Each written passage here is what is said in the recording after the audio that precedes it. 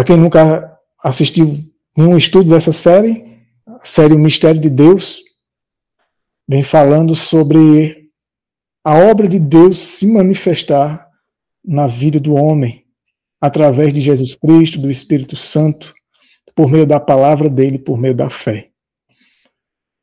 É, o maior desejo de Cristo é a revelação de si mesmo, do seu caráter, no seu povo.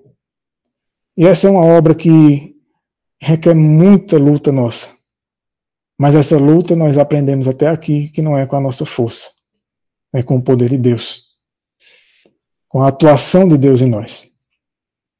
Então, diante de tudo que temos aprendido até agora, é, o tema de hoje ele seria consequência de rejeitar essa obra de Deus na nossa vida. Essa é a consequência. Vamos ver um pouco da história de Israel, do povo de Israel. Não iremos é, nos ater muito na questão histórica, mas iremos nos ater mais na questão moral e espiritual, como tem sido o foco desse estudo, né, desde o começo. Então, o título é um, um verso da Bíblia. A maioria de vocês acredito que já devem ter lido esse verso. E iremos entrar nesse assunto, que é um assunto muito sério, é, mas é um assunto muito necessário e importante para a gente compreender. É, estamos entrando na reta final dessa série, como eu falei. Os próximos estudos vão ser nessa linha do que a gente vai começar a estudar hoje, tá? Então, o tema de hoje, que é o sétimo, fechais o reino do céu aos homens, pois nem entram, nem deixam os outros entrarem. Vamos começar com Mateus 23, 13, que é o verso que deu título ao estudo de hoje. E diz o seguinte: o mais interessante, irmãos, prestem bem atenção.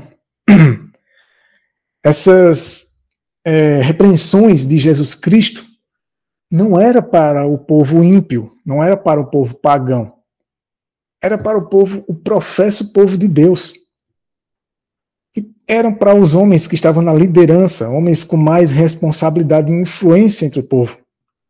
Homens que, que eram os mestres da lei. E é muito sério, você lê isso e você vê isso Jesus Cristo disse com muita dor no coração, mas era a realidade deles. E essa pode ser a nossa realidade. Então que Deus nos ajude a entender essa mensagem não só do ponto de vista histórico, só olhando para eles, mas olhamos por nós tanto individualmente como coletivamente. Aqui diz assim: Mateus 23, 13. Ai de, mas ai de vós, escribas e fariseus hipócritas, porque fechais o reino do céu aos homens. Pois nem em vós entrais, nem deixais entrar os que estão entrando. O que seria fechar o reino dos céus, do céu aos homens? Outro evangelista, Lucas, no Evangelho de Lucas, ele relata essa mesma ocasião. E essa mesma advertência de Cristo, esse mesmo discurso dele ali para os fariseus e escribas, os mestres, Lucas relata com palavras diferentes. Veja que interessante. Ou seja, fechar o reino do céu aos homens seria isso aqui. Ai de vós, doutores da lei. Você vê que agora o Lucas usa outras palavras. Incluiu aí doutores da lei porque tirastes a chave do conhecimento. Então, fechar o reino do céu aos homens é tirar a chave do conhecimento, de acesso ao povo. Retirar isso do povo. Vós mesmos não entrastes e impedistes os que estavam entrando. Veja que coisa séria. Os mestres, os líderes, doutores da lei, é, os que deveriam, os que eram portadores da luz de Deus, que tinham como tarefa instruir o povo e encaminhar o povo para Deus e para a verdade pura. Foi dito a esses que eles professavam seus instrutores, os guias religiosos do povo, foi dito a eles que eles estavam fechando o reino dos céus. Isso é muito sério. Você já pensou? A gente lê isso hoje, a gente não faz questão, aliás, a gente não faz noção do impacto que isso foi para eles. Imagina a fúria que isso criou neles. Ouvindo isso de Jesus Cristo, o qual eles já não tinham muita simpatia por ele. E agora ele ouviu dele que eles fecharam o reino do céu, achando eles que estavam mais próximos de Deus do que o resto do mundo e, é, estavam em uma situação contrária, segundo a própria revelação do Senhor. E o que seria essa chave do conhecimento que foi tirada do povo? Em Provérbios 2,6 nos dá uma pista. Veja que interessante, porque o Senhor dá sabedoria. Da sua boca vem o conhecimento. Chave do conhecimento foi tirada do povo. Ela vem da boca de Deus e o entendimento. E o que vem da boca de Deus? O que é esse conhecimento que vem da boca de Deus? Mateus 4, 4 nos ajuda a entender. Um verso vai ajudando o outro, é, vai ajudando a compreender o outro. Diz assim, ó, nem só de pão viverá o homem, mas de toda palavra que sai de onde? E procede de onde? Da boca de Deus. Então a chave do conhecimento é a palavra de Deus. Aquela que saiu da boca de Deus, que está escrita.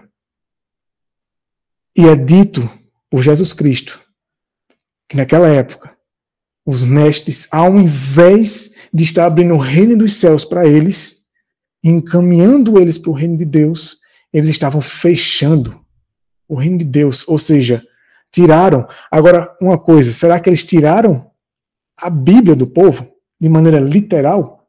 Não. Porque todo sábado era aberto os rolos do Antigo Testamento.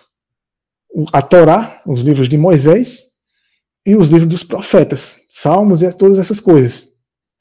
Então, toda semana eles liam para o povo a palavra de Deus. Mas por que eles fecharam o reino de Deus? De que modo?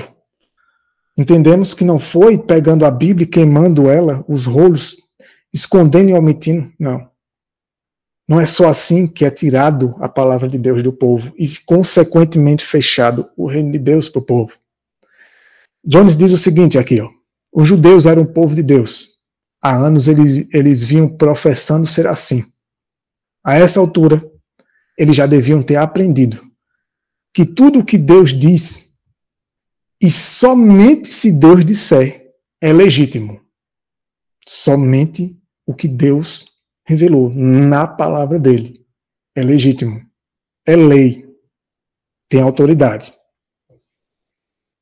Nada, continua o texto, que qualquer outra pessoa possa dizer tem força como lei. No que diz respeito à religião. Entendam? Nada no que diz respeito à religião no que diz respeito a Deus, a palavra de Deus, nada que qualquer pessoa possa dizer tem força como lei, se estiver contrário à palavra de Deus. E é por isso que não merece ser chamado de legítimo.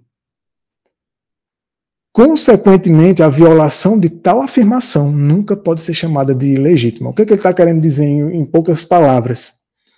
O que o homem determina, o que o homem ordena, e trata como lei dentro da religião, além de não ter força como lei, não ser obrigatório, se não for é, acatado, se não for praticado, obedecido, e se a pessoa não se submeter àquilo ali, não vale de nada. Não tem, não, não tem problema nenhum diante de Deus. Porque a única palavra no que diz respeito à religião que é autoridade, é somente a palavra de Deus. Parece óbvio, né? Parece óbvio o que eu estou dizendo.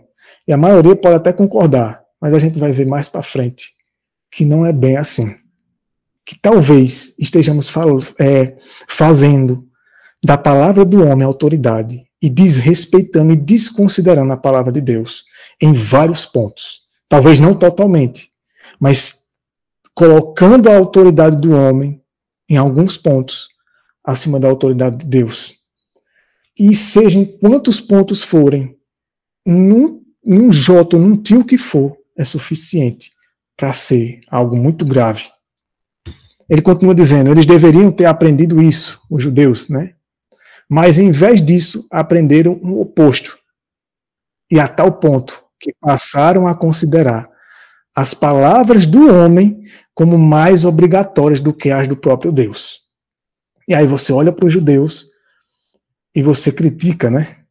A gente tem esse espírito de repudiá-los, de dizer como eles chegaram a esse ponto. Mas será que essa não seria a nossa situação? É algo a se refletir. Vamos falar, vamos refletir bastante nisso hoje. Os mandamentos humanos, os costumes e as maneiras do homem anularam a própria palavra de Deus, como Jesus declarou lá em Mateus 15, versículo 6: Vós anulastes o mandamento de Deus pela vossa tradição. E ele continua dizendo ainda em Mateus 15, no verso 8 e 9, e olha o que ele diz aqui: o que é tirar a chave do reino de Deus, do povo? Não é simplesmente tirar é, a, a Bíblia, o livro físico. Porque por mais que, tenha, o, que o povo tenha acesso ao livro físico, e mesmo até mesmo aos cultos, como era com eles, mesmo assim, ainda há a possibilidade da chave do reino de Deus, a palavra de Deus está sendo retirada do povo. Como? Começou aqui, ó, anulando os mandamentos de Deus pela tradição do homem. E ele diz: Este povo se aproxima de mim com sua boca, professando ser povo de Deus, professando, está ensinando a palavra de Deus, e me honram com seus lábios, professando amar a Deus, honrar a Deus, mas o seu coração está longe de mim. Essa era a situação do povo de Israel. Imagina eles ouvindo isso. Já pararam para pensar? Já pararam para pensar se isso fosse dito a gente hoje? E aí diz no verso 9: Mas em vão eles me adoram. A adoração deles, o culto deles era em vão. Era vão. Era nulo. E era um povo de Deus até aquela altura. Ensinando como doutrinas os mandamentos dos homens. É assim que eles tiravam a chave do reino de Deus, a palavra de Deus do povo. Por mais que usasse a palavra, mas misturavam mesclavam com os mandamentos, doutrinas e tradições e dogmas dos homens. Isso era um problema muito sério. E, consequentemente, o reino de Deus que está dentro de nós não podia estar em harmonia, em ligação com o reino dos céus. Jesus Cristo disse: O reino de Deus está dentro de vós. Quem assistiu o primeiro estudo que eu fiz dessa série Vai lembrar que somente a chave, que é a palavra, a chave do reino de Deus, pode abrir esse reino. Para que Cristo então entre. Então, consequentemente, quando os homens, os mestres, os guias do povo, eles tiram, distorcendo, é, adulterando a, a verdade, desconsiderando sentenças da Bíblia, só trazendo à tona mensagens que são favoráveis, beneficiam, que são agradáveis ao povo. Não que essas mensagens não sejam importantes, mas só dando ao povo uma mensagem manca, unilateral. Consequentemente, incluindo mandamentos de homem, que a palavra do homem não tem poder nenhum para transformar o coração do homem. E, consequentemente, o povo vivia em trevas, mesmo sendo povo de Deus. Vocês vão ver coisas mais fortes ainda nesse estudo. Cristo não reconhecia nenhuma distinção de nacionalidade, diz o Espírito de Profecia. Posição ou credo. Isso é interessante, irmãos. O que foi para Deus naquele tempo ainda continua sendo. Deus ainda continua considerando as coisas dessa maneira. Em todos os tempos, em todas as épocas, em que haja o povo de Deus, aqueles que professam ser povo de Deus, se cometem os mesmos erros, as mesmas consequências, a mesma é, forma como Deus enxerga e considera as coisas, continua sendo válido. Cristo não reconhecia distinção de nacionalidade. Eles se apoiavam muito se consideravam muito, se orgulhavam muito em serem a nação judaica, a nação escolhida por Deus para serem os porta-vozes de Deus. Mas aqui ela está dizendo que Cristo não reconhecia essas coisas. nem posição. Homens mestres da lei, os maiorais, grandes homens considerados pela, pelo povo, Jesus Cristo, não reconhecer essas coisas. Ou credo. Você sabe o que é um credo? Credo é um conjunto de doutrinas. É um conjunto de doutrinas formulado e idealizado pelos homens, usando parte da Bíblia e parte da ideologia humana, da filosofia do homem, da, da maneira como o homem entende as coisas. E na realidade, o credo, ele é a maneira do homem tentar viver a palavra de Deus em sua própria força e sabedoria. E aí, vendo que não consegue viver, então o homem sai rebaixando a palavra de Deus e só usa aquilo que lhe é conveniente e que acha que consegue viver para formular esse credo, esse conjunto de doutrinas. E Cristo não reconhecia esse tipo de coisa. Os escribas e fariseus desejavam fazer um benefício local e nacional dos dons do céu. Ou seja, eles só queriam benefícios para eles. E excluir o restante da família de Deus no mundo. Esse era um grande problema do povo de Israel, exclusivistas.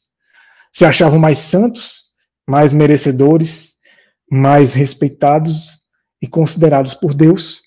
Se achavam somente eles estavam no favor de Deus e o resto do mundo estavam perdidos, longe de Deus, quando na verdade a coisa era bem contrária. Mas Cristo veio para derrubar todas essas paredes de separação. Cristo não enxergava as coisas assim, Deus não enxerga as coisas assim. Os homens muitas vezes se orgulham, se apoiam, se confiam em títulos, em rótulos, naquilo, na experiência que tem em anos, muitas vezes, de igreja ou algo desse tipo. Mas as coisas são bem diferentes aos olhos de Deus. Vamos aprender algumas coisas aqui que realmente vai despertar nossa consciência e nos ajudar a entender as coisas do ponto de vista divino. Esse outro texto diz o seguinte: esse outro te texto está no livro Patriarcas e Profetas, só que na edição em inglês de 1890. Então talvez não esteja assim, ou talvez não esteja na nossa edição de hoje. Foi a primeira edição que foi publicada desse livro. A gente encontra ela lá no Centro White. Diz o seguinte: No mundo que se diz cristão, muitos se afastam dos ensinamentos claros da Bíblia e constroem um credo, coisa que Deus não considera, a partir de especulações humanas e fábulas agradáveis e apontam para sua torre como uma forma de subir ao, ao céu. Ela usa até de maneira figurativa aqui a Torre de Babel.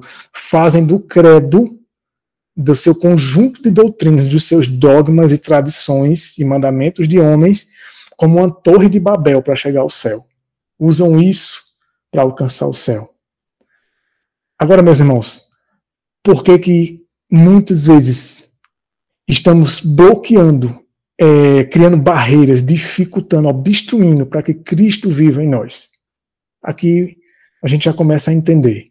Os homens ficam admirados com os lábios da eloquência. Pessoas que sabem falar muito bem, bonito e agradável.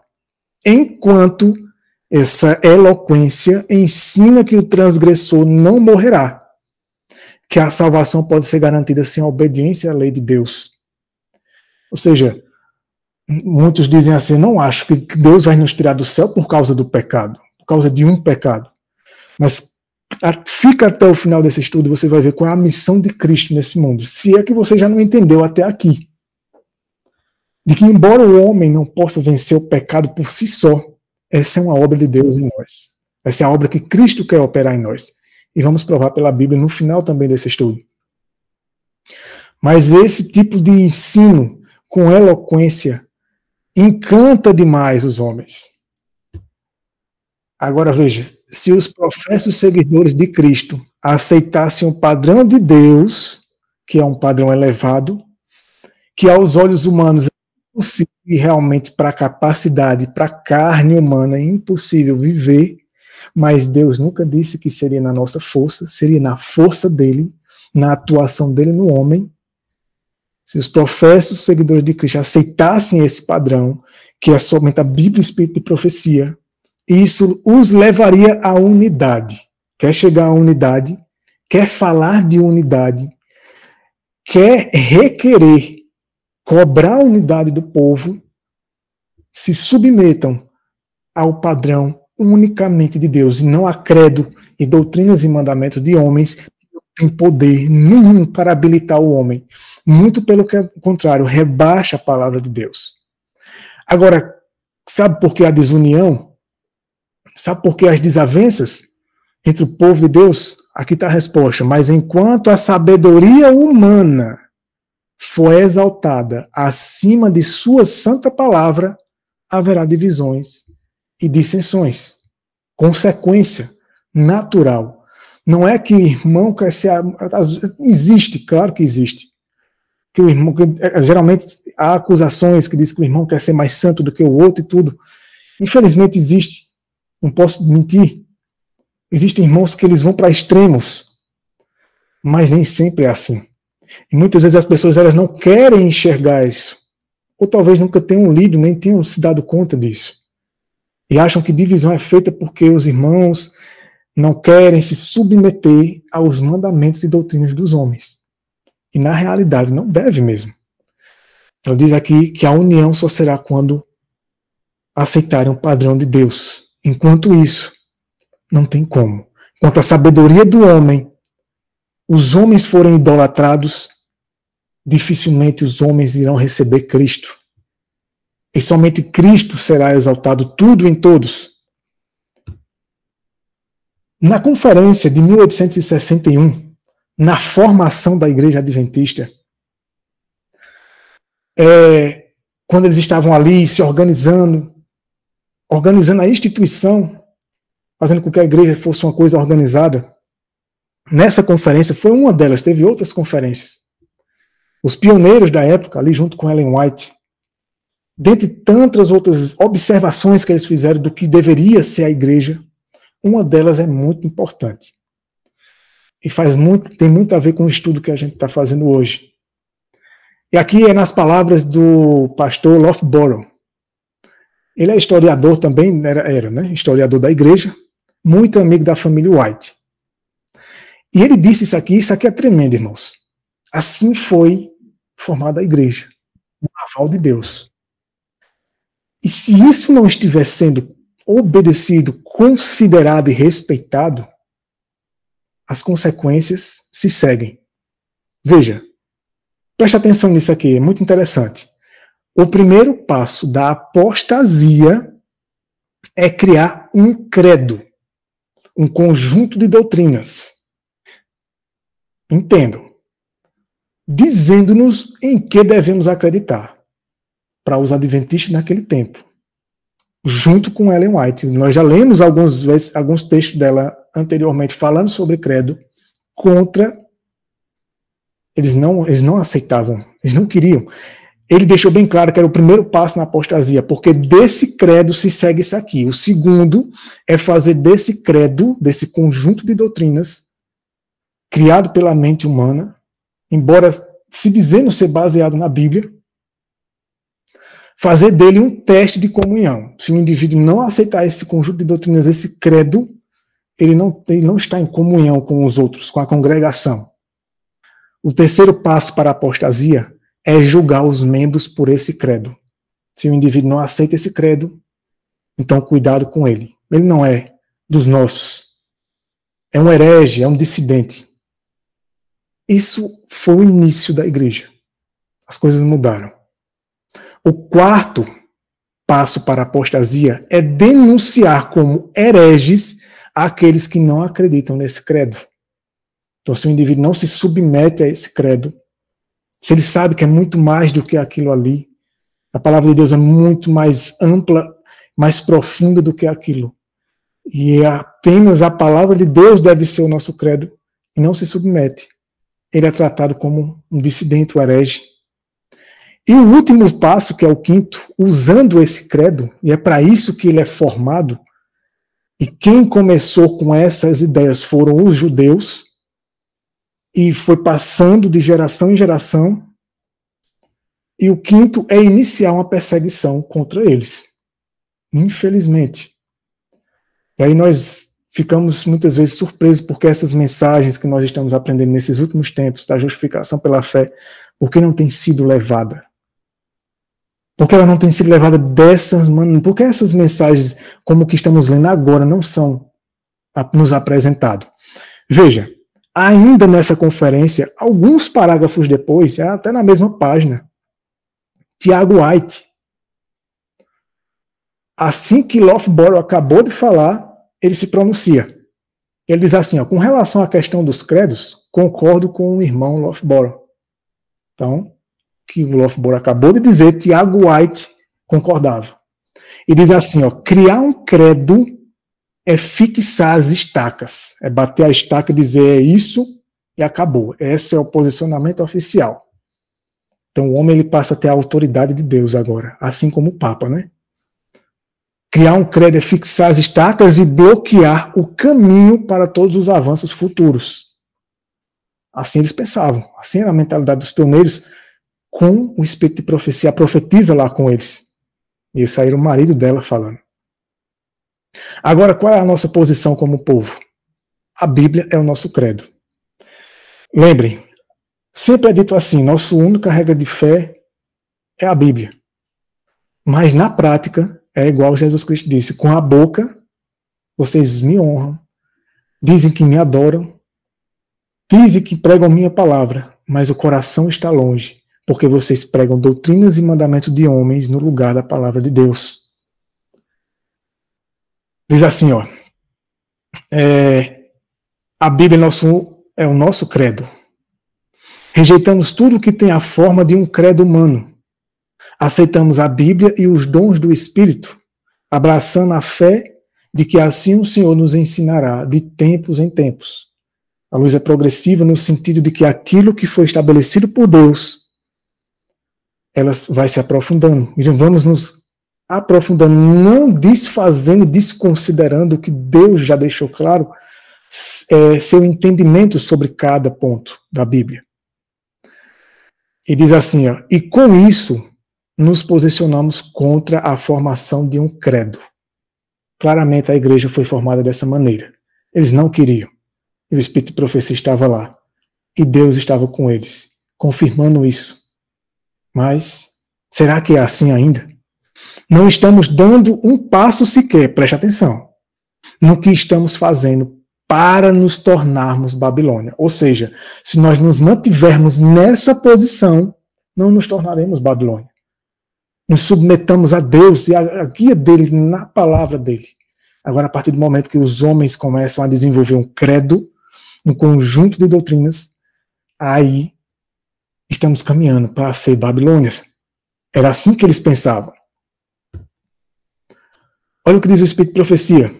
Por ano, por anos, a igreja tem olhado para o homem e esperado muito do homem. E às vezes a gente se pergunta por que a gente não tem conseguido ter Cristo em nós. Apesar dos nossos pecados pessoais, que precisam ser levados em consideração também, mas parte do problema está aí. A igreja tem olhado para o homem e esperado muito do homem, muita expectativa no homem. Admiração demais pela sabedoria, pela lógica humana, pela mente humana. Mas não tem olhado para quem? Para Cristo, contemplado, estudado o caráter e a mensagem dele e a obra que ele não só faz lá no céu, mas faz aqui no reino dele, que é a nossa mente, em nós, em quem nossas esperanças de vida eterna estão centradas. Veja o que diz aqui. Foi-me mostrado que a nação judaica não foi levada repentinamente à sua condição de pensamento e prática. Isso não é da noite para o dia.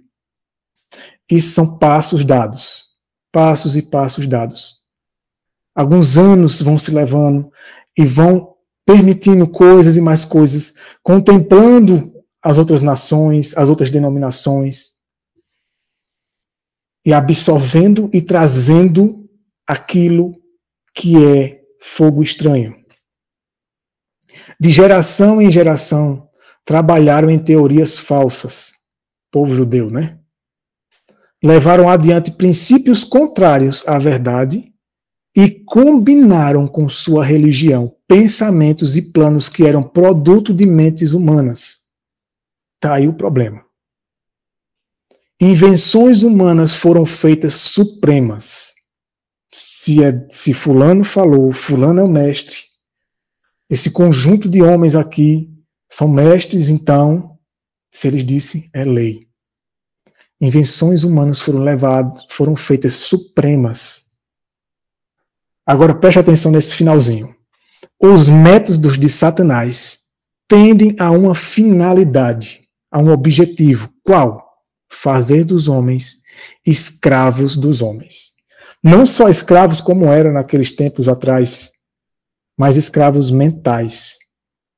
Se tem quem pense por mim, então eu terceirizo a meu conhecimento a um conjunto de homens e me submeto, submeto a minha consciência para que outros pensem por mim e se tornam escravos dos homens e escravos do eu. Porque o homem, quando não tem a mente de Cristo atuando nele e o levando a confiar somente na palavra de Deus, a confiar somente em Cristo para suas, realizar suas obras, então o homem ele se torna escravo da carne, da mente finita, e, re, e vai rebaixando cada vez mais a palavra de Deus, submetendo o homem cada vez mais ao pecado e à escravidão do pecado. Satanás tem se infiltrado para levar homens a dependerem de homens e para fazer da carne seu braço. Satanás age assim, fazendo com que os homens olhem para si mesmos ou para outros homens, e confie neles ou em si mesmo e na força da carne, e na capacidade da mente natural, da natureza humana caída. O nome já diz, caído. Como que você quer extrair algo de bom? A Bíblia diz assim: a carne para nada aproveita. Enganoso é o mais do que todas as coisas. Logicamente, consequentemente, precisamos de uma outra mente, porque essa mente natural ela é enganosa, mais do que todas as coisas. Mas a mente de Cristo, quando nos submetemos a ela, não há engano. É só sim, sim e amém. Fui instruído a dizer: quebrem todo o jugo forjado pela invenção humana. Se desfaçam dessas coisas. Analisem bem. Sejam belianos. Analise se realmente aquilo é, de fato, a palavra de Deus pura e incontaminada. O grande perigo com o nosso povo tem sido de depender ou de depender dos homens e fazer da carne seu braço. Ela repete isso em outra ocasião. Aqueles que não têm o hábito de buscar a Bíblia por si mesmos ou pesar a evidência, quer ser o bereano, não significa que você não vai dar ouvidos a outras pessoas, não significa que você não pode assistir uma pregação, um estudo com outros, mas vejam se estão lhe caminhando a uma total dependência de Deus e não de si, nem do homem, e nem da mente humana, mas somente daquilo que Deus revelou na palavra dele. E somente confiando no poder de Cristo atuando em nós. É, ou, para pesar a evidência, tem confiança nos principais homens, ou seja, aqueles que não têm o hábito de buscar a Bíblia, estudar por si mesmo ou pesar as evidências, tem confiança nos principais homens, principais homens, e aceitam as decisões que tomam. E assim, muitos rejeitarão as próprias mensagens que Deus envia ao seu povo, se esses irmãos principais não as aceitarem. E como as pessoas, elas muitas vezes olham para si, olham para a sua situação, vê, leem essas mensagens, assistem essas mensagens, leem esses livros ou de outros irmãos que estão levando essa mensagem da justiça de Cristo e olha assim e diz, rapaz, por que isso nunca foi pregado? Porque é tão diferente do que eu já vi até hoje, tudo dependência do homem, da mente humana. E Deus mesmo está nos encaminhando de volta, atraindo-nos para Ele e para a palavra dele, para a confiança nele, pois Ele nos entende. Cristo veio aqui e experimentou essa vida, essa vida que vivemos para nos ajudar, para nos tirar da escravidão, da dependência da mente natural do homem, da sabedoria humana, que para nada serve e que para Deus é loucura. Aí a gente muitas vezes diz assim: é, fulano é doido. Às vezes a gente até brinca com essas coisas, ou critica, mas é loucura confiar na mente humana, por mais sábia que ela pareça ser, se ela não estiver somente levando você à verdade pura e incontaminada. E nos tornamos loucos. Que Deus nos ajude nisso. Vejam só. Isso está em João 7. A consequência de depender do homem de contemplar o homem, a sabedoria do homem, idolatrar os mandamentos e se firmar e confiar somente nos mandamentos e dogmas do homem, no credo humano. Por mais que use a palavra de Deus, como era com os judeus, as consequências são essas aqui, pois aconteceu com eles para que fique, ficasse registrado para o nosso ensino. Preste atenção, nessa ocasião aqui, era uma situação entre os fariseus e Cristo. E após encerrar a situação, diziam alguns, houve um racha entre eles ali, porque alguns ficaram simpatizados com Cristo e outros não. E aconteceu o seguinte, a partir do verso 41, outros diziam: Este é o Cristo. Alguns estavam considerando, estavam começando a entender, mas diziam outros: Virá o Cristo da Galileia? Então sempre tem aqueles que lançam dúvidas, né? Não diz as Escrituras que o Cristo vem da semente de Davi, da cidade de Belém, de onde era Davi? Assim, olha só, houve uma divisão entre o povo por causa de quem? De Cristo. Hoje, será que diriam Cristo é um, uma pessoa que traz divisão na nossa, no nosso meio? Disseram isso dele. Consideraram que ele era a causa da divisão. Mas era ele a causa da divisão? Ou era a incredulidade dos homens? a rebeldia, a obstinação dos homens, em, dos que não queriam se submeter e acreditar e aceitar Cristo como quem ele realmente era. Continua dizendo assim: e alguns deles queriam prendê-lo, prender Cristo, mas nenhum homem lhe pôs a, as mãos. Então os oficiais foram até os principais sacerdotes e fariseus, e eles lhes perguntaram: por que não trouxestes? Os fariseus perguntaram aos oficiais: por que vocês não trouxeram ele para nós? Responderam os oficiais. Nunca homem algum falou assim como este homem. Eles estavam admirados, impactados com a mensagem de Cristo, assim como muitos de vocês estão impactados com essa mensagem de Cristo. Não minha mensagem, mensagem de Cristo.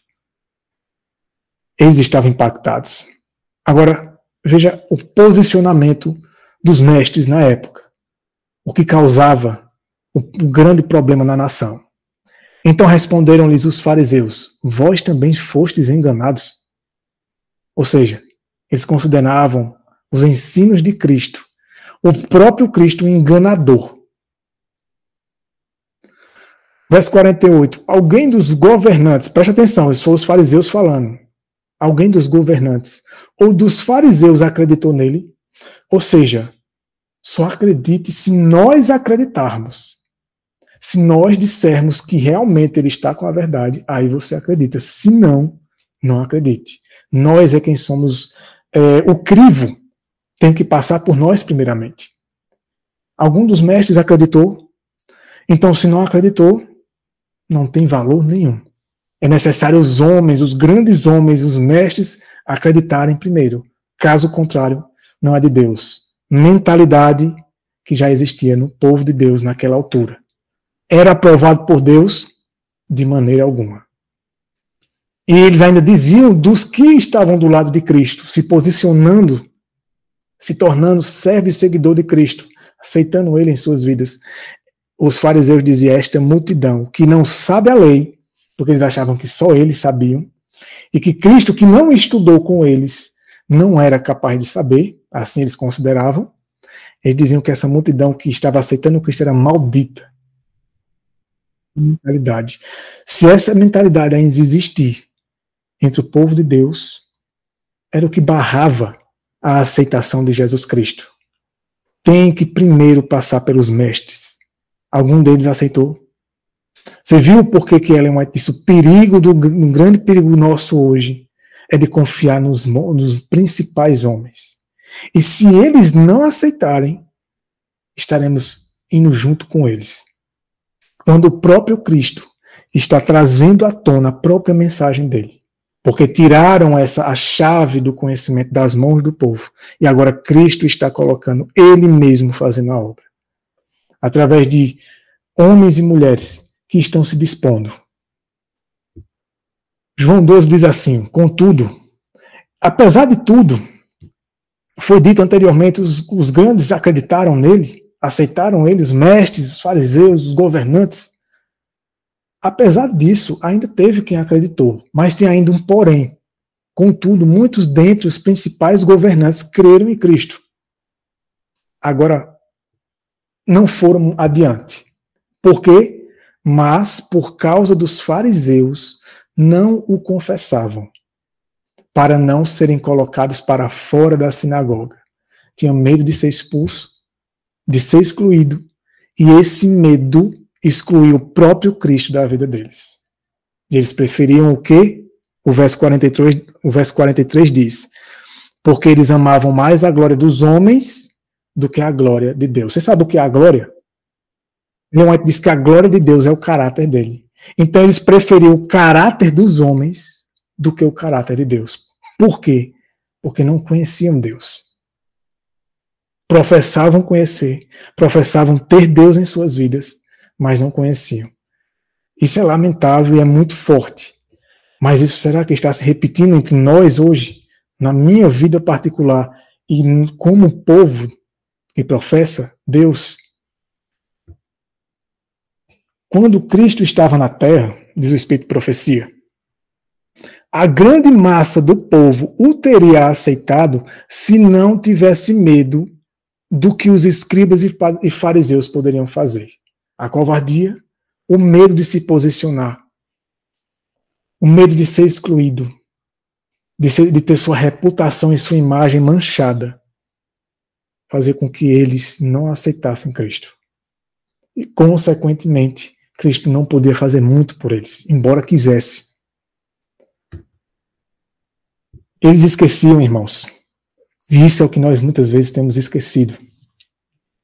Essas coisas que vamos ler agora que toda boa dádiva e todo bom dom, aliás, perdão, toda boa dádiva e todo dom perfeito vem de onde? Do alto. Eles esqueciam que tudo que eram, tudo que tinham, tudo que se realizava de bom não vinha deles mesmos. Não vinham dos grandes homens.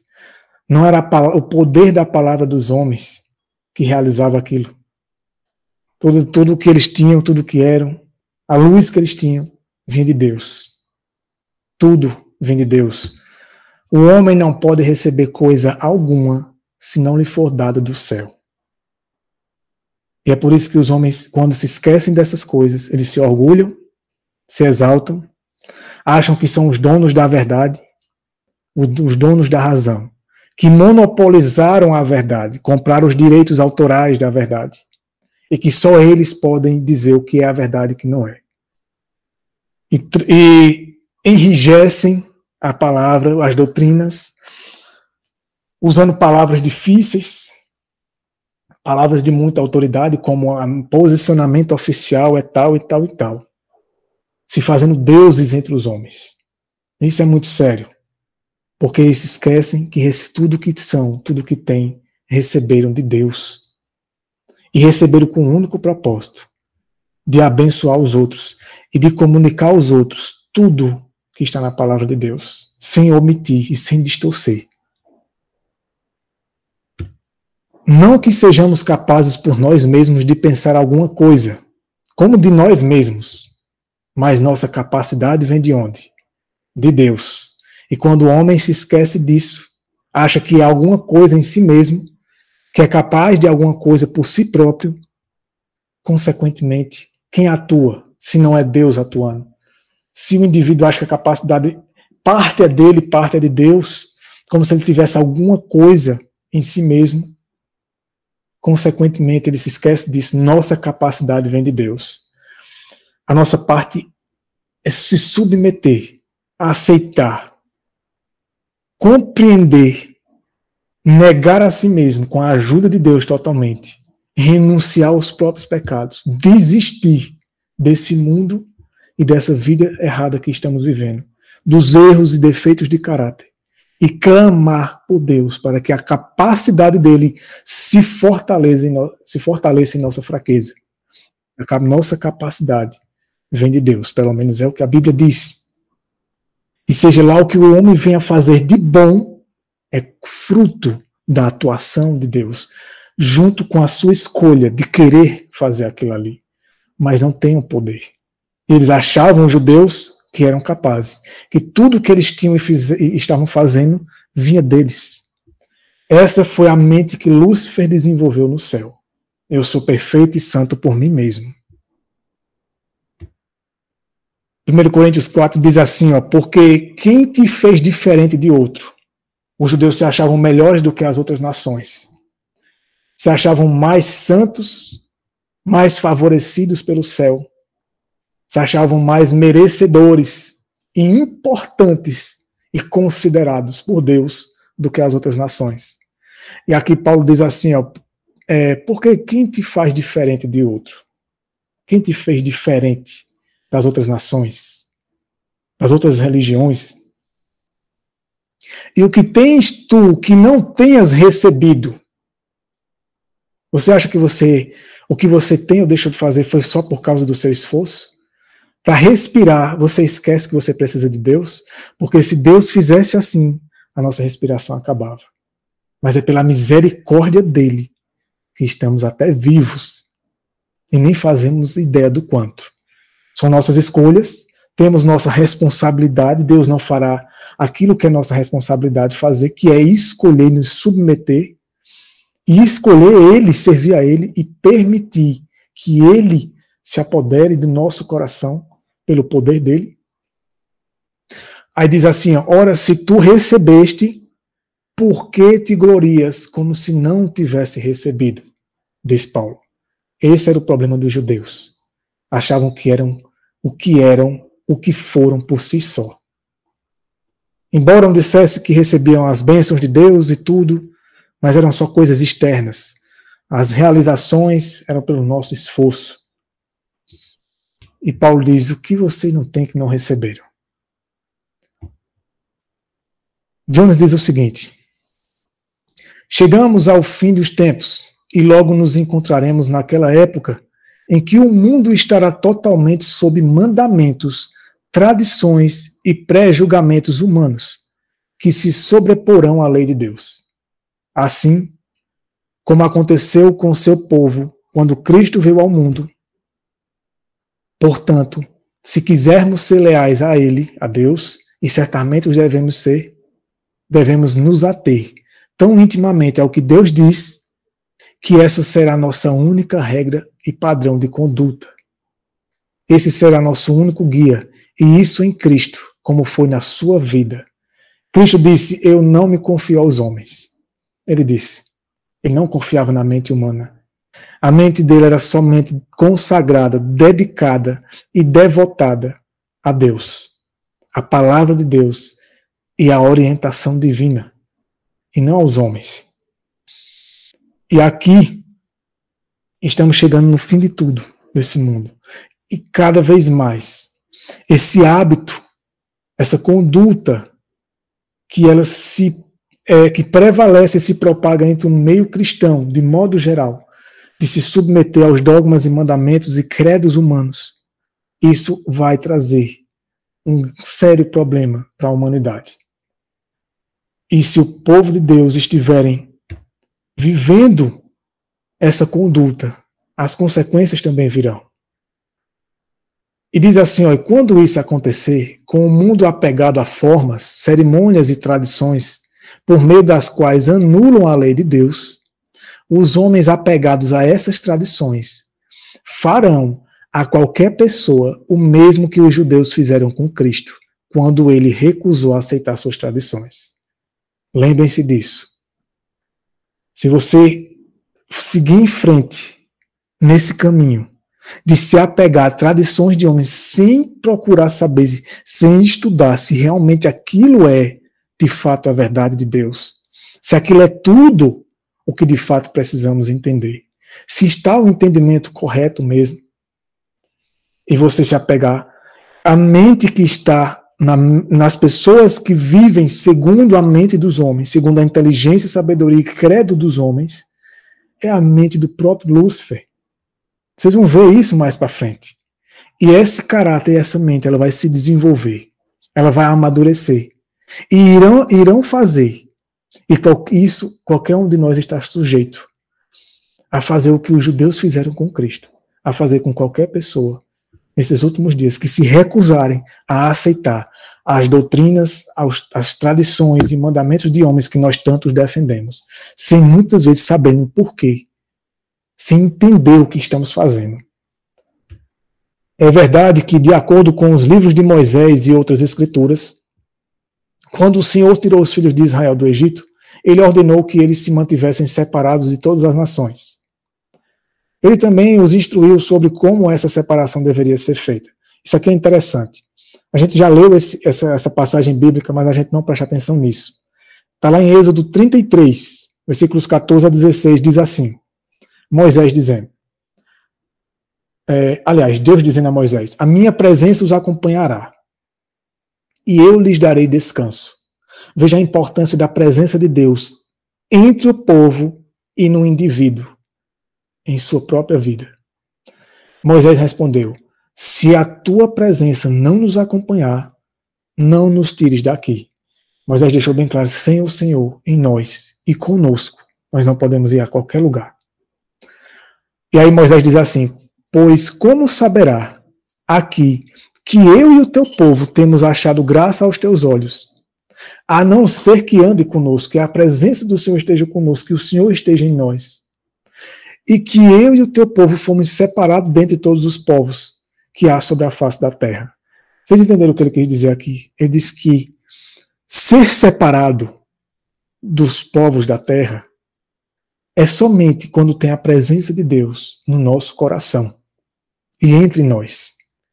E a presença de Deus ela só está aonde o culto, a adoração, a devoção é feita a Deus, conforme ele prescreveu não conforme agrada o homem, não conforme a mente humana ela idealiza para manter pessoas que são carnais, que não querem conversão. E a presença de Deus é que faz com que eles se separem dos outros. Mas em que sentido? No sentido mental, moral e espiritual. Porque aqui Deus estava dizendo que eles deviam ir, avançarem. O próprio Jesus Cristo disse: ide, e levai o evangelho às nações. Mas os judeus, eles tinham medo, porque não tinham Cristo neles, de se misturarem, de se associarem com as outras nações. E, consequentemente, eles se excluíram das outras nações e colocaram a luz que Deus deu a eles debaixo do alqueire. E ficaram só entre eles, alimentando-se só a si mesmo e se tornaram egoístas. Por quê? Porque não tinham Cristo neles. Não tinham Deus habitando neles. A presença de Deus não estava neles. Isso é o que separa os homens. Por mais que o indivíduo possa ir a qualquer lugar que ele for, no que diz respeito a povo, nação, cidade, se ele tiver Deus nele, ele não vai se misturar com os costumes e práticas daquelas nações e daquela cultura e daquele povo. E outra coisa que Deus orientou sobre separação.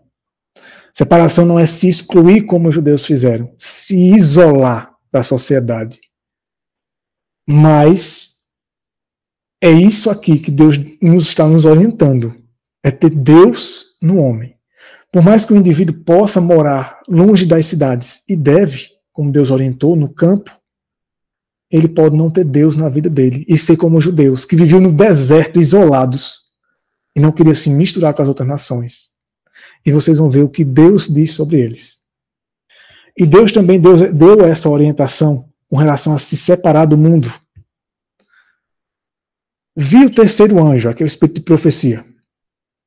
Disse meu anjo acompanhante: terrível é a sua obra, tremenda a sua missão. Ele é o anjo que deve separar essa mensagem, a mensagem do terceiro anjo, que deve separar o trigo do joio. e selar ou atar o trigo para o celeiro celestial. Agora, de que maneira essa separação ocorre? Essas coisas devem absorver toda a mente e a atenção toda, ou seja, devemos estudar essa mensagem do terceiro anjo, nos aprofundar nela, porque ela é quem vai fazer é essa a mensagem de Cristo para nós é quem vai fazer essa separação. Veja o que ela vai dizer aqui. Foi-me mostrada a necessidade dos que creem estarmos tendo a última mensagem de misericórdia de se separarem dos que estão diariamente absolvendo novos erros. Vi que nem jovens e nem velhos devem assistir às suas reuniões. É isso que Deus está querendo dizer. Deus não estava querendo dizer que não deveremos nos associar às pessoas das cidades e das outras nações mas que não devemos nos associar, não devemos é, nos incluir em reuniões, em é, eventos, em lugares de culto em que erros e novos erros estão sendo absolvidos, festas. E aqui diz o seguinte: pois é errado assim encorajá-los enquanto ensinam o erro, que é veneno mortal para a alma e doutrinas que são mandamentos de homens. O erro é um veneno mortal para a alma. Aonde quer que ele esteja sendo promovido, aonde quer que ele esteja sendo ensinado, ele é um veneno mortal para a alma. A influência de tais reuniões não é boa. Se Deus nos libertou de tais trevas e erros, devemos ficar firmes na liberdade com que Ele nos tornou livres e regozijar na verdade. Deus se desagrada. Irmãos, essas são palavras da revelação do próprio Deus. Deus se desagrada de nós quando assistimos ao erro sem a isso ser obrigados. Quando Deus diz ide, então Deus não disse que para você evangelizar um católico você tem que ir frequentar uma missa com ele, para você dizer que ama ele. E isso é um princípio e serve para toda e qualquer circunstância, aonde o erro aonde é, as falsas doutrinas, mandamentos ideologias de homens estão acima da verdade pura de Deus. Aonde a adoração é mais para agradar o homem do que ao próprio Deus. Aonde é promovido a blasfêmia, aonde, aonde o erro e o pecado é tratado como algo bom e aquilo que é santo e puro é mal visto, é detestado e repudiado. Deus não disse que era para se envolver nesses lugares. Você pode alcançar as pessoas que frequentam esses lugares em suas casas, indo até elas em um momento do dia do, do cotidiano da vida delas. Ou em qualquer outro lugar que seja seguro, ou de alguma outra forma. E aí diz o seguinte, ó, pois a menos que ele, Deus, nos envie a essas reuniões, o que é algo que é, deve ser bem cauteloso, onde o erro é inculcado, é gravado na mente ao povo pelo poder da vontade, ele não nos guardará. Os anjos cessam seu vigilante cuidado sobre nós, que nos atrevemos a nos envolver com essas coisas. E somos deixados aos açoites do inimigo, deixados a ser entenebrecidos e debilitados por ele e pelo poder de seus anjos maus e a luz ao nosso redor fica contaminada com as trevas. Sobre o povo, sobre os judeus, as orientações de Deus sobre se separar não era para se excluir da sociedade de maneira extrema, se isolar e viver como um ermitão. Ainda não é esse tempo. Embora morar em lugares retirados, mas ainda como Enoque e até as pessoas porque muitas delas estão nas trevas e na ignorância. E Cristo passou a maior parte do tempo indo até as pessoas. Mas ele não era influenciado, ele não compactuava e não praticava as práticas e os costumes delas. Elas é quem eram influenciadas por ele. A atmosfera que ele levava para elas, a presença deles, intimidava o erro. Não no sentido de que eles ficavam intimidados de maneira negativa, mas admirados porque ele sabia se associar com as pessoas, sem com isso se contaminar. Mas os judeus levaram para o extremo porque não tinham Deus nele, na vida deles. E se achavam melhores, não queriam se contaminar com o mundo lá fora. E diz assim: ó, se tivessem buscado sua presença, a presença de Deus, os judeus, e a tivessem entre eles, estariam realmente separados de todos os povos, no sentido moral e espiritual, e não se envolvendo com as práticas, com a cultura e com o mundanismo. No entanto, teriam se associado a todos os povos da terra. Teriam ido a todos os povos, nações e línguas para falar-lhes as glórias de Deus e de sua bondade e poder. E eles não fizeram isso. Retiveram para si mesmo e queriam que o povo viesse até eles. Mas eram tão egocêntricos e tão egoístas que nem conseguiam atrair o povo. Diz assim, ó, mas eles não desejavam a presença de Deus, nem tê-lo sempre com eles, para que pudesse santificá-los. Pois, se, pois ser separado do mundo para o Senhor é o mesmo que ser santificado. É tanto que a palavra santificação, santidade, é a palavra separar. Separar o quê? A mente, ou seja, se separar da carne, do eu, dos pecados, dos defeitos de caráter e dos costumes do mundo e das práticas do mundo, seja elas quais forem. Mas mesmo assim, quando, quando a pessoa está em comunhão com Cristo, ela não deixa de, de ir até as pessoas para evangelizá-las, sabendo ter cuidado aonde pisa. Se eles tivessem tido a presença do Senhor para santificá-los, poderiam ter ido a qualquer lugar da terra e ainda assim estariam separados de todos os povos. Com, a, com os devidos cuidados e observações que nós já falamos, esse é o propósito de Deus para o povo dele. Ele não deu a luz para o povo, para o povo reter essa luz e colocar debaixo do alqueire, mas sim para levar para o mundo. Mas por não terem a presença de Deus, que é a única capaz de realizar isso, essa separação, que faz com que a mente do homem não se submeta, não sinta prazer nas coisas do mundo e não queira se envolver e ser influenciado pelas coisas erradas. Em seu esforço para se separarem, já que não tinham Deus, em si mesmos. Então tentaram fazer do jeito humano, como normalmente nós tentamos fazer. Qual é a única coisa que poderiam conseguir? Qual seria o único resultado possível? Não poderia terminar de outra forma que não fosse a afirmação, o crescimento exagerado, a ampliação do eu, do ego. Se tornaram tão egocêntricos, se isolaram, se tornaram uma bolha só nós merecemos Deus. Só nós merecemos ter essa luz. Somos os detentores dessa luz. E o povo do mundo não merece isso. Não precisam sair, eles têm que vir até nós. Não precisamos ir até eles. Autoconfiança, orgulho, autoexaltação, justiça própria, todos os tipos de egoísmo que se alimentam cada vez mais, foi desenvolvido entre eles. E tudo isso em seu vão esforço para cumprir as Escrituras, tentando cumprir a palavra de Deus em sua própria capacidade de sabedoria. Segundo, porque a mente humana ela funciona assim. Ela lê, ela se depara com a verdade, ela tenta viver aquilo ali. E vai tentando, tentando, tentando, e vai enfraquecendo, vai vendo que não consegue, e começa então a fazer como brasileiro. Vou usar a linguagem brasileira. Começa então a fazer as gambiarras humanas, né? A fazer o jeitinho humano brasileiro. Começa a tentar, como fizeram os judeus. Eles acrescentavam mandamentos a mandamentos para tentar viver aquilo que Deus disse. E chegavam a conclusões que não, isso aqui não é possível, isso aqui não é bem assim, porque era a mente deles e não a mente de Deus neles. Nas quais o Senhor lhes havia dito que eles deveriam é, ser separados de todas as nações. Quando chegaram, isso aqui é muito sério, irmãos. A partir daqui estamos chegando na parte final do estudo.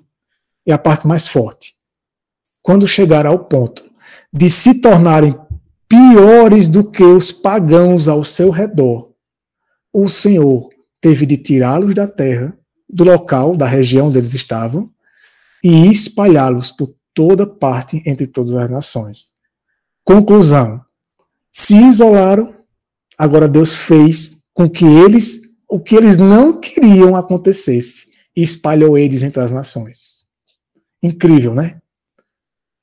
Incrível. Poderiam ter ido por bem, poderiam ter ido da maneira como Deus orientou, confiando somente em Deus, e tudo teria dado certo. Acabaram indo, mas não como Deus queria e nem como eles queriam. Como cativos, presos, escravos, muitos morreram, humilhados, porque se tornaram piores do que os pagãos ao seu redor. Meus irmãos, isso é muito triste. Mateus 23, 15 nos confirma isso. Jesus Cristo disse isso para o povo. Professa o povo de Deus. Como que o povo de Deus chegou ao ponto de se tornar pior do que os pagãos, do que os ímpios? Se achavam superiores a eles, olhavam para eles e os condenavam. Diziam, eu não, que Deus me livre ser como esse povo aí. Condenavam as práticas deles, julgavam e criticavam, enquanto eles mesmos estavam fazendo praticamente as mesmas coisas. Coisas parecidas, ocultas, muitas vezes, principalmente aqui na mente. Ai de vós, escribas e fariseus hipócritas, porque percorreis o mar e a terra para fazer um prosélito. Prosélito é discípulo. E depois de terdes o feito, de o terdes feito, o fazeis duas vezes mais filhos do inferno do que vós. Meus irmãos, Imagina o impacto dos judeus, dos mestres da lei, ouvindo isso de Cristo. Como assim? Você está dizendo que eu vou atrás das pessoas para evangelizar elas, trazê-las para a nossa fé, dar estudo a elas, batizá-las, e você está dizendo que estamos fazendo delas filhos do inferno duas vezes mais? E Cristo diz assim: do inferno do que vós, ou seja, vocês também são filhos do inferno filhos do inferno. Que triste realidade para o povo de Deus. É muito fácil quando a gente não tem um profeta, quando a gente não tem o próprio Jesus Cristo falando em pessoa isso para a gente. Mas existe um texto de Ellen White, eu não consegui colocar ele aqui. Ainda estou procurando ele, mas eu já li. E se alguém aí que vai assistir esse vídeo ou está aqui acompanhando lembra onde está esse texto, puder compartilhar comigo depois, eu agradeço. Que ela diz que, eu vou parafrasear, ela diz que é, condenamos, olhamos para os judeus, os condenamos, olhamos para eles como miseráveis, como eles puderam fazer essas coisas, e julgamos e criticamos eles, olhamos para eles até muitas vezes lamentando, e o anjo disse a Ellen White: vocês estão piores do que eles. Meus irmãos, isso não é bom, isso não é fácil de ouvir. Não é agradável. Mas isso é a palavra de Deus para o povo dele. Ele disse isso para Laodiceia. Vocês se acham ricos não sentem falta de nada. Mas são miseráveis, desgraçados, pobres, cegos e nus. E nem sabem disso. O próprio Jesus Cristo disse isso. Ele disse isso para o povo. Ele não disse isso aqui para os pagãos, irmãos.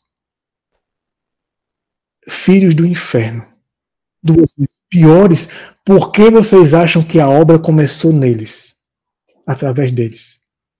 Porque eles estavam mais necessitados do que o povo lá fora. O povo lá fora estava mais fácil de se converter do que eles, de tanto orgulho, de se acharem de que não precisavam de mais nada. Já temos a verdade. Enquanto estavam vivendo uma ilusão e uma mentira. Jesus disse aqui, ó: Vós fazeis as obras do vosso Pai. João capítulo 8. Meus irmãos, será que se a gente ouvisse isso de Jesus Cristo, a gente teria raiva dele? Pare para pensar. Hoje, quando esse tipo de mensagem é levada, qual é a reação da maioria? Embora devamos ter cuidado como levar essas mensagens, devemos ter muito cuidado de ter o amor de Cristo pelas pessoas em dizer essas mensagens que não é para acabar com a esperança, com a vida do indivíduo, muitos de nós, entre o povo de Deus, já estamos numa situação ruim. E muitas vezes, a maneira como levamos essas mensagens, às vezes piora, se a gente não tiver a cautela de dosar a mensagem, no sentido de não só mostrar o problema, mas mostrar a solução. Por isso que nessa série de estudos, eu tenho buscado, de alguma maneira, sempre encorajar as pessoas a mostrar o quanto Cristo as ama, quanto Cristo as entende, e o quanto ele pode fazer pela vida delas se elas permitirem. Parem de levar o seu jugo, o fardo da vida de vocês sozinhos. Busquem a ajuda dele, pelo poder dele, ele os habilitará. E ele queria fazer isso por esse povo. Estava nessa condição. E essa pode ser a minha e a sua condição, a nossa condição como um povo hoje. E não deveríamos ter repulsa disso, não aceitar isso. Isso é o que dificulta muitas vezes. De você olhar, não, não é possível, a gente não, a gente não é como os judeus. Não, eles eram piores do que nós. E o anjo disse a Ellen White: vocês estão piores do que eles. E que pai era esse que Jesus Cristo estava dizendo? Vós sois do vosso pai. Quem? O diabo. Anteriormente eles disseram que eram filhos de Abraão. E Jesus Cristo disse que se vocês fossem filhos de Abraão, vocês fariam as mesmas obras de Abraão. E aí eles elevaram o tom. Nós somos filhos de Deus. Não somos filhos de adultério, de fornicação. Ou seja, estava dizendo, acusando Cristo, você é filho de fornicação, nós não. Somos filhos de Deus. E Cristo disse, vocês são filhos do diabo. Infelizmente. Imagina a tristeza e a dor no coração de Cristo dizendo isso. Mas ele não tinha como não dizer, porque senão eles não iriam enxergar o tamanho do problema que eles estavam enquanto achavam que estava tudo certo com eles. E diz assim: ó, E quereis satisfazer os desejos de vosso pai. Quem? Do diabo. Vocês não estão satisfazendo os desejos de Deus. Com a boca, vocês dizem que professam Deus, que honram Deus. Mas o coração está longe de Deus e perto de Satanás. Que o Senhor tenha misericórdia de nós. Que o Senhor nos ajude a refletir nessas coisas e aqui diz assim: aquele que comete pecado é do diabo. Essa é a realidade. Mas Cristo, até o final desse estudo, a gente vai entender também isso, revisar, né? Porque a gente já aprendeu bastante isso nessa, nessa série. Essa série, nesse estudo, não tem por intuito desanimar vocês, mas se encorajar. Encorajar a ser honestos com Deus. Senhor, tem misericórdia de mim. Vê se há em mim um caminho mau se sou filho das trevas do diabo, liberta-me dessa situação. Perdoa-me por isso, mas me tira disso, meu Deus. Me tira dessa situação. É isso que Deus quer de nós. E isso, esse é o propósito dele, não é para nos jogar na lama, nos jogar no fundo do poço e nos deixar lá. Pelo contrário, ele desceu até lá no fundo do poço para nos resgatar. Foi até onde você está. Não se sinta por conta dessa realidade que estamos aprendendo, não ache que não há é, solução. A solução é muito maior do que o problema. Mas essa é a realidade. Isso era o que ele estava querendo ensinar para o povo dele. Mateus 21 diz assim: é, Disse-lhe Jesus: Na verdade, eu vos digo que os publicanos e as prostitutas entram antes de vós no reino de Deus. Meus irmãos, isso deve ter sido muito impactante para eles. Se coloquem no lugar deles. Eu me coloquei no lugar do judeu e eu, para mim mesmo, eu pensei, isso é muito sério. É muito forte isso. Como assim? Eles condenavam os publicanos, consideravam eles uma classe inferior, uma classe de ímpios, de ladrões, e as prostitutas também. Mas Jesus Cristo disse para eles: vocês que condenam esse povo lá fora. Eles estão entrando antes de vocês no reino de Deus. Não com a prostituição, como o roubo, mas eles estão se convertendo. Reconhece o estado, a situação degradante deles e clamam por misericórdia a Deus e pedem que Deus os perdoe e que Deus os liberte e viva neles. É assim? Eles não vão entrar no reino de Deus com a prostituição, com o roubo e com qualquer coisa. Não era isso que o texto estava dizendo. Mas eles estão mais aptos, mais passivos de receber o reino de Deus do que vocês, porque vocês se fecharam na doutrina de vocês. Acham que ninguém mais pode dizer algo para vocês que vocês estão errados. Romanos 2 diz assim, versículo 1: Portanto, tu és indesculpável, Paulo dizendo para o próprio povo de Deus. Ó homem, qualquer um que julgas, indesculpável. Pois no que tu julgas a outro, a ti mesmo te condenas. Pois tu que julgas, fazes as mesmas coisas. Quando o indivíduo já julga é porque ele já faz. E tu, ó homem, que julgas os que fazem tais coisas, pensas que, fazendo-as tu, escaparás do julgamento de Deus? Essa era a situação do povo de Deus. Vocês condenam os drogados, a alimentação e o estilo de vida de vocês também deixam vocês como drogados, com o lobo frontal é entorpecido. Vocês condenam as prostitutas e vocês estão aí traindo uns aos outros, adulterando, mentindo uns para os outros, tendo preconceito um com os outros. O indivíduo, porque ele muitas vezes sabe falar melhor, tem mais escolaridade, isso não é generalizando, irmãos, mas muitas vezes é assim. Tem mais condição financeira, ele olha com desprezo para uma pessoa que tem menos condição, que é pobre, que não sabe falar direito, que não tem escolaridade. Isso não está na ordem de Deus. Muitas vezes um indivíduo que olha para uma pessoa que, que tem muitas coisas, bens materiais, tem inveja, pragueja aquela pessoa. E um tendo preconceito com o outro, discriminação. E tudo isso era o que estava acontecendo com o povo de Deus que levou Cristo a dizer que eles eram filhos do diabo. E se nós estivermos fazendo as mesmas coisas daqueles que nós muitas vezes nos consideramos superior a eles, somos piores porque temos luz e eles não. Essa, isso é o porquê que eles eram piores. Porque eles tinham a luz. Eles podiam não matar, não podiam não roubar, pelo menos não grotescamente.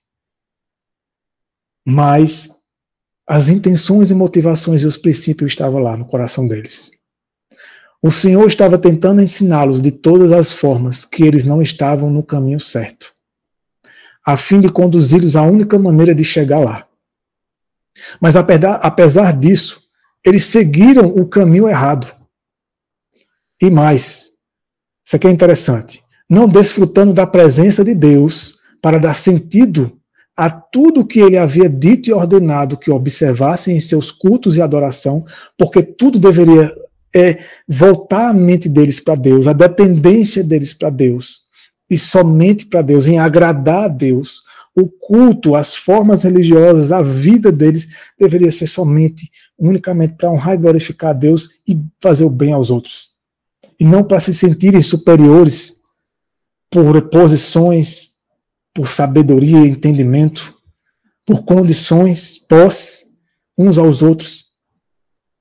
E essa conduta, agora veja, é, não desfrutando da presença de Deus para dar sentido a tudo que Deus havia dito e ordenado, que observassem em seus cultos de adoração, essa conduta egocêntrica os levou a perverter as formas de adoração ordenadas pelo Senhor. Isso os levou a transformá-las em meio de salvação. Então o indivíduo passava a se confiar e se depender nas obras e nos cultos, nos ritos que eles faziam, achando que aquilo ali, por si só, o fazia merecedor do céu, ou que santificava a vida dele. Quando o próprio Deus disse, quando falando do sábado, por exemplo, Deus disse: Eu sou o Senhor que os santifica. Não é o dia que santifica vocês, sou eu quem santifico, para que então vocês possam santificar esse dia da maneira certa. Antes, primeiro, a obra precisa ser feita dentro de vocês, para que o exterior, que seja lá o que seja feito, em nome de Deus, seja feito da maneira como Deus aceita. A obra precisa ser primeiro feita dentro do reino de Deus que está dentro de vós mas eles fizeram dessas coisas um meio de salvação. Passaram a se confiar. Eu fiz isso, deixei de fazer aquilo, e marcando como se estivesse marcando ponto ponto de salvação. A, a tradição assim ensina.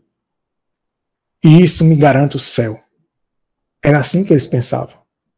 Devolvem dízimo até de um, um centavo que encontram no chão. Não está errado fazer isso.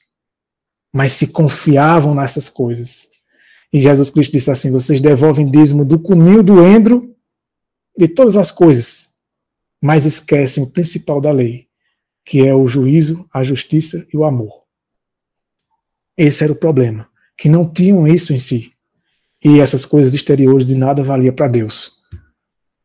Ao praticá-las, todos esses rituais, essas ordenanças de Deus, alegavam que elas os tornavam justos. Será que é assim até hoje? Eu faço isso, eu deixo de fazer aquilo achando que aquilo me torna justo? Quando na verdade é Cristo e a presença dele, a justiça dele, quem torna o homem justo, para que então o que venha praticar seja de fato justo e não um trapo de imundícia. E como outras pessoas não as possuíam, eles pensavam, eles não podiam ser justos. Só nós somos justos. Os ímpios lá fora, eles não têm essa adoração, não têm acesso a toda essa verdade, não têm acesso a esses ritos, e eles são ímpios, e nós somos melhores do que eles porque temos essas coisas. Passaram a adorar a criatura ao invés do Criador. Afirmaram que Deus lhes havia dado essas práticas para esse propósito. Irmãos, quando a gente afirma e a gente ensina para as pessoas, faça isso, deixamos de fazer isso, irmãos. Passemos a fazer aquilo, isso, isso, isso. E Cristo lá longe. E você é, requer das pessoas que ela faça aquilo ali de maneira perfeita, e as pessoas não conseguem e se frustram e aí você estabelece o seu padrão, até onde você conseguiu. E aí você acha que aquilo ali que você que conseguiu já torna você melhor, superior aos outros. E aí você acha, passa a olhar para os outros com autismo, com altivez. Com altivez, ou seja, com arrogância. Eu me sacrifiquei, eu me esforcei e consegui isso. E isso faz a pessoa se sentir mais próximo de Deus. E muitas vezes o indivíduo está mais longe do que Deus, do que aqueles que ele condena mas não havia prescrito para esse para o restante das nações. Portanto, deduziram que Deus os tinha em maior consideração do que todos os outros. Era assim que ele, a conclusão da mente deles. Assim, a falta da presença de Cristo na vida por meio de um coração convertido levou-os a engrandecer a si mesmos em vez de a Deus. Adoraram mais a criatura do que o Criador. Adoravam mais as obras do que o próprio Deus. Se confiavam nas próprias obras, nos próprios ritos, e não no poder e na presença de Deus neles. E achavam que o que faziam ou deixavam de fazer os tornavam santos e mais é, importantes e dignos do céu do que os outros. E diz assim, ó, e a transformar as formas divina, divinas que Deus havia designado em meras formas e cerimônias externas, pelas quais esperavam obter vida. Por isso que Jesus Cristo disse: vocês são sepulcros caiados. Tem aparência. As pessoas olham para vocês e dizem: esse é um religioso. Mas dentro de vocês está a morte. Por isso que sepulcro, que tem uma morte ali dentro. Isso os levou a colocar essas coisas no lugar de Cristo, como meio de salvação. Primeiro, Cristo precisa salvar. Primeiro, Cristo precisa converter, santificar com a presença dele no homem, para que então o homem possa realizar as obras de Deus. Com Cristo nele. É Cristo operando o querer e o efetuar e o homem se submetendo ao querer que aquilo ali se realize em sua vida. Ao negar, ao renunciar, esquecer a si mesmo e pensar mais na honra e na glória de Deus e na salvação dos outros. Mas eles inverteram as coisas. E se isso ainda é feito hoje em dia, estamos na mesma condenação e no mesmo caminho que os judeus estavam. Infelizmente, em nenhum outro há salvação. Atos 4, 12. Não há salvação. A salvação não é por meio das coisas. Porque é dito aqui, ó, ressuscitando Deus a seu Filho, Jesus, primeiro o enviou a vós, para vos abençoar, afastando cada um de vós das suas iniquidades. Primeiro ele precisa fazer isso em nós, e por nós, ao renunciarmos, ao querermos que ele faça isso, clamarmos por isso, buscarmos isso e nos submetermos a essa obra, para que então ele realize as obras dele. pois ele salvará o seu povo dos seus pecados. Não é o que o indivíduo tenta fazer que salva o indivíduo do pecado dele, do egoísmo, do orgulho, dos pensamentos adúlteros, pervertidos, corruptos, dos sentimentos de preconceito, dos sentimentos de muitas vezes explorar pessoas que têm menos condição do que você. Como acontecia no povo de Deus, que muitos deles exploravam os, os próprios irmãos, porque eram mais pobres, e se aproveitavam e abusavam deles. E, consequentemente, estavam abusando da misericórdia de Deus. Essas coisas precisam primeiro ser eliminadas do coração do homem. E eles não começaram por esse caminho. Não começaram primeiro por isso. Começaram somente pelo exterior. E aí pararam. E esse é o problema. Por isso o reino de Deus foi fechado para eles. E assim é até hoje. Aquele que comete pecado é do diabo, a gente já viu isso agora. Porque o diabo peca desde o princípio.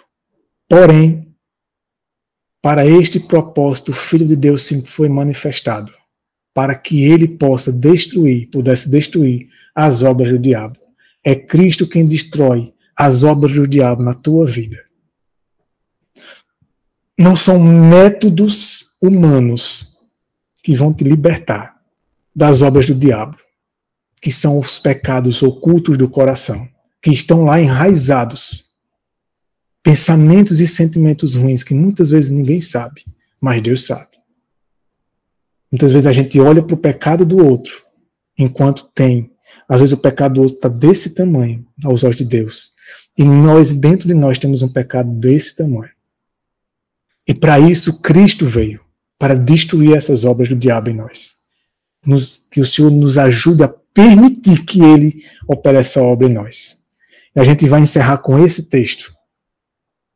Olhando sempre a Jesus com os olhos da fé. E essa é a nossa esperança.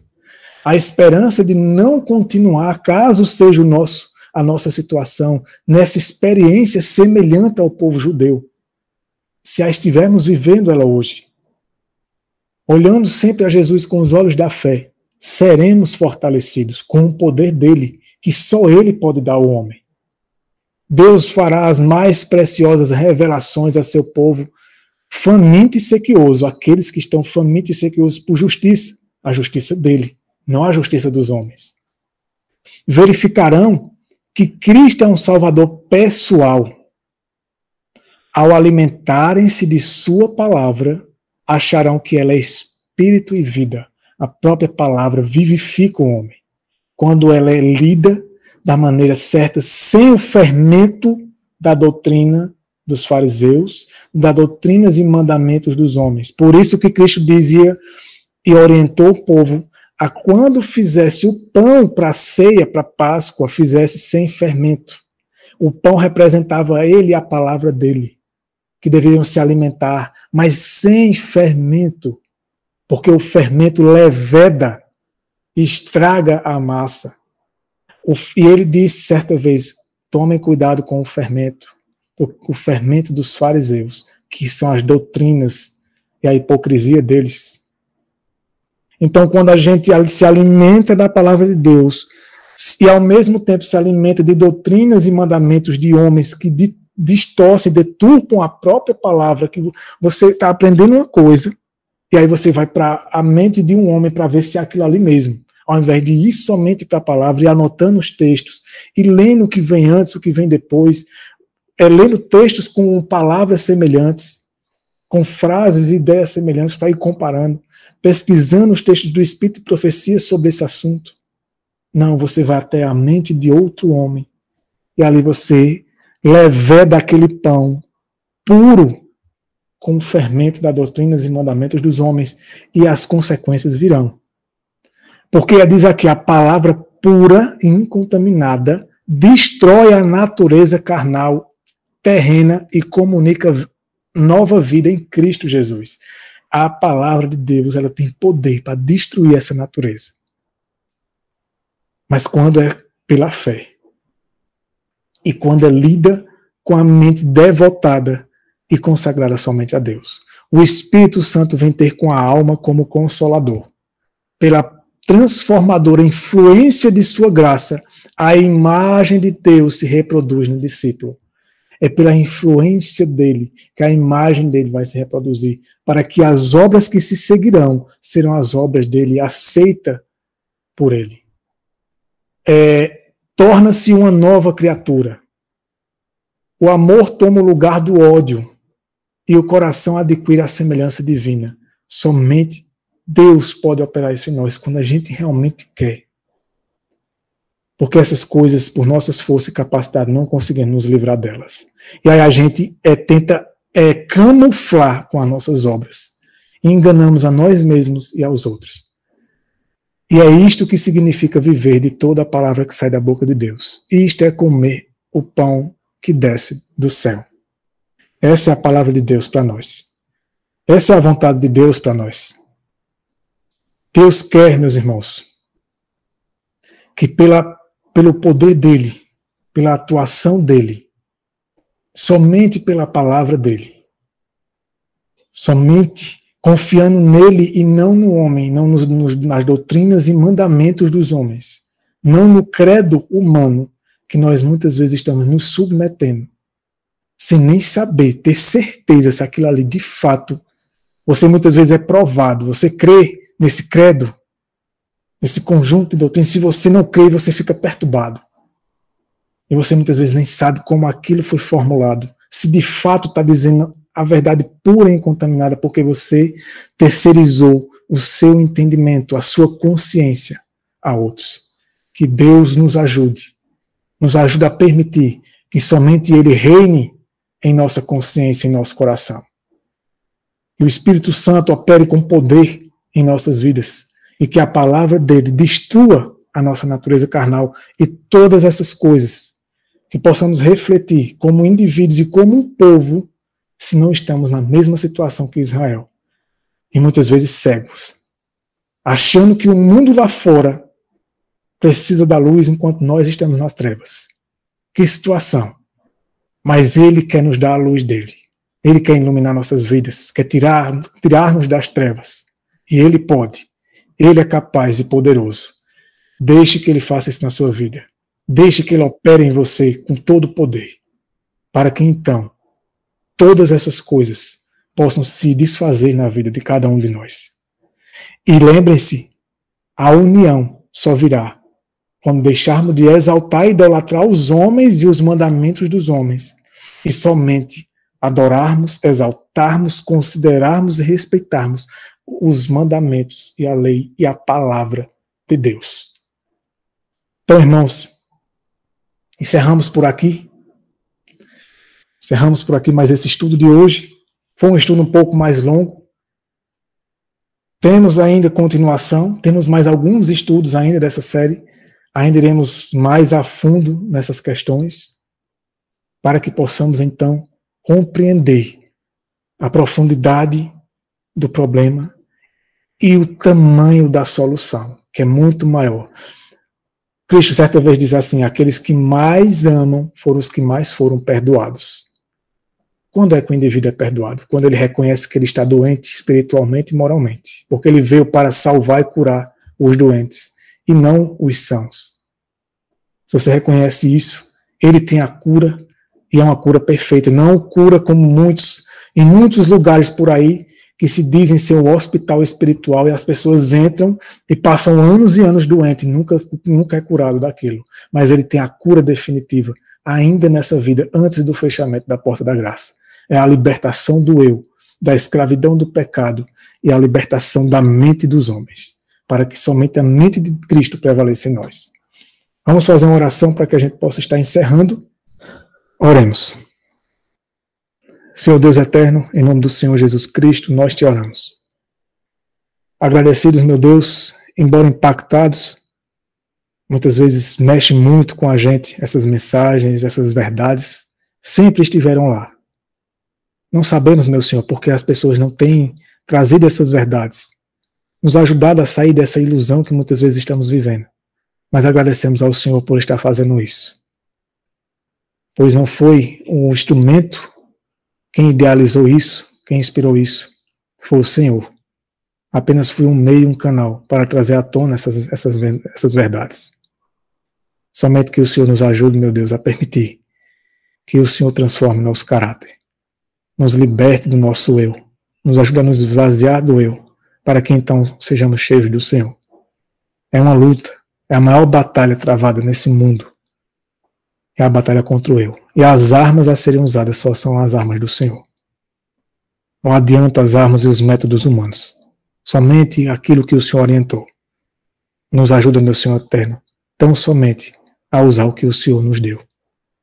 E na realidade permitir que o Senhor esteja conosco nessa luta, pois só o Senhor sabe como nos dar a vitória. Obrigado por mais essa reunião, mais esse estudo, mais essa oportunidade. Que o Senhor possa abençoar cada um dos que estiveram aqui e dos que venham a assistir posteriormente. Abençoar suas vidas, enriquecê-los espiritualmente fortalecê-los nesse caminho. Que o Santo Espírito possa atuar poderosamente em suas vidas. E que essas mensagens, meu Senhor, não sejam em vão. Possa, de alguma maneira, ajudá-los a continuar nesse caminho. É um caminho estreito, mas com o Senhor todas as coisas são possíveis. Que os anjos do Senhor continuem nos guardando nessa noite. Que o Senhor repreenda o inimigo, os anjos maus para longe de nós. E nos ajude, meu Senhor eterno.